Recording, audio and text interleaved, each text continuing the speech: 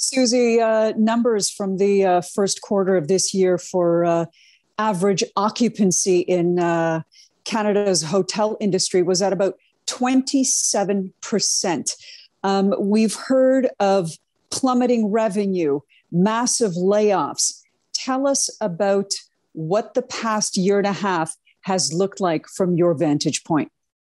Well, travel effectively ground to a halt about 15, 16 months ago. And we did not see, we have not really seen a recovery in this sector up until June, when we started to see some provinces open. We are seeing now a domestic, a partial domestic recovery.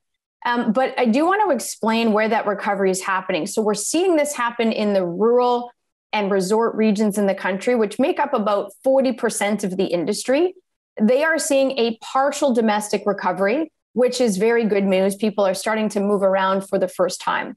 But the other 60% of the industry, which is to say the urban, the suburban, and the airport markets outside of those that were involved in the government's quarantine uh, programs, have been sitting virtually empty for the last 15 months.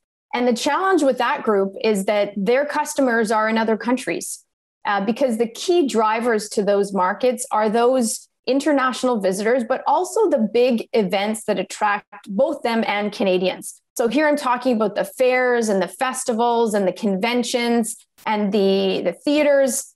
None of these events were scheduled for this summer. Um, and so that group is struggling. They will not see a recovery this summer. And for them, that's two summers in a row and in an industry that is seasonally based, uh, those three months of the summer in often is gives the businesses the opportunity to generate the revenue they need to make it through the back half of the year, which are not always profitable months. And so that group is really struggling right now give us a, uh, I guess, a deeper dive into what that picture looks like across the country. You had mentioned uh, resort towns, so perhaps someone like BC uh, seeing uh, travel suspended from tourists from China uh, to all the way across the country, New Brunswick. Uh, give us an idea of what that looks like for the resort hotels and the versus the economy hotels. Yeah, so it's interesting. The so the resort hotels are largely um, seeing some movement right now, and that is regardless of which pro- which province you're in. We're starting to see some movement now. Some happen sooner than others. Obviously, we saw certain provinces open up sooner than others, and and that instilled a level of con- confidence in travel. Um, so we did start, start to see BC and Alberta open up in those remote and rural regions and resort regions uh, more quickly. But the downtown cores, regardless of which province you're in, are struggling. Those are those are sort of universal numbers. They are experiencing um, up to 80% uh, losses at this point in time. And the metric we use for that is, is RevPAR. So that's revenue per available room. So they're they're not getting the occupancy and they're also not getting the rate that they would normally charge. That particular group, based on our last member survey from June, has said they will be unable to stay in business, um, will be out of business before the end of the year. Tell us about what the here and now looks like. I, I would imagine that there are new uh, health and safety uh, measures that are being introduced into the hotel industry. And I would also imagine there are costs, heavy costs that are associated with that?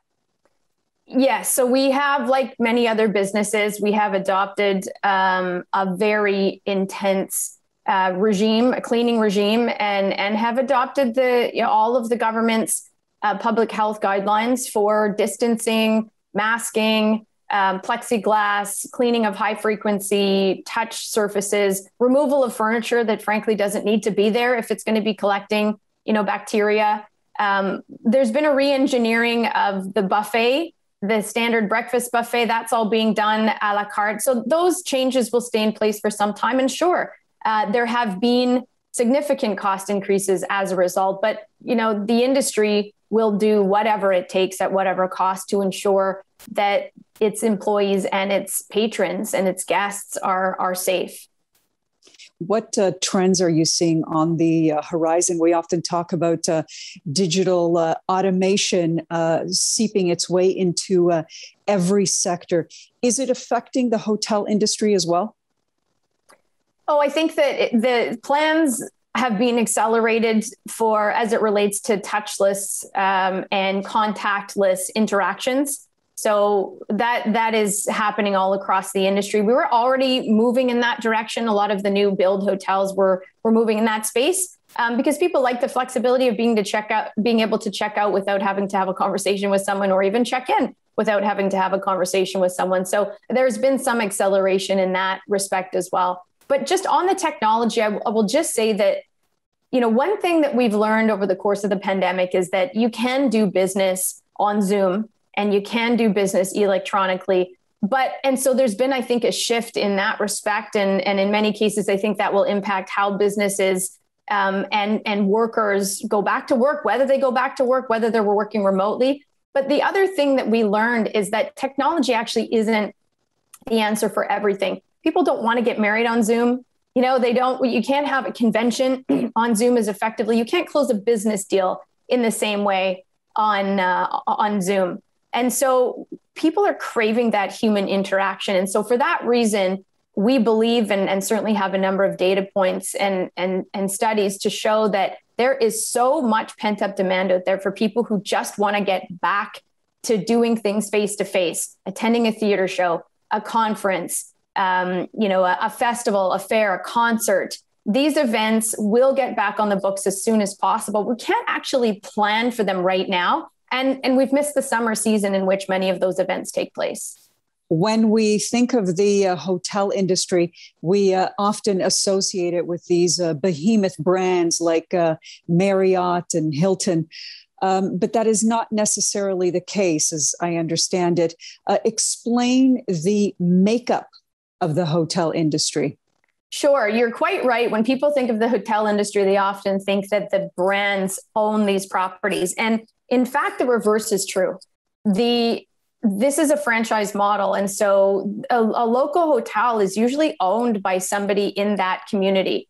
Uh, there are some larger ownership groups, but but very few of them. Most of them are owned by by by local business people who've invested their livelihood into these hotels, and they have had to jump through hoops with their financial institutions to try and um, take on additional debt they have spent through all of their kids' college funds and every savings that they have had, and they have they're really headed towards an iceberg at this point because there is no more money left. There's no more debt to be taken on, and in fact, the government programs are going to be winding down in September for all sectors of the economy equally at the same time. And for us, that doesn't make any sense because most sectors of the economy are allowed to have their customers back, but ours are still in other countries we have missed the window to plan the big events that drive tourism. And so our true recovery won't start until next summer. And so we are asking the government to take that into consideration, and we will be asking for uh, a very tailored support program for the hardest hit businesses who continue to suffer from lingering restrictions, whose economic conditions have not changed enough to allow them to get back to business um, so that we can preserve the infrastructure that needs to be in place to resume proper travel activity as we get into the post pandemic phase.